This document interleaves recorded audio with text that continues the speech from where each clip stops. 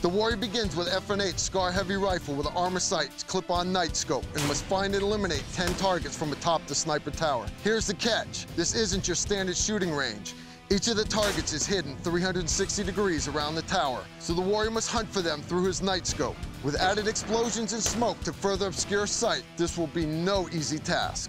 The warrior with the lowest score will be cut from the competition.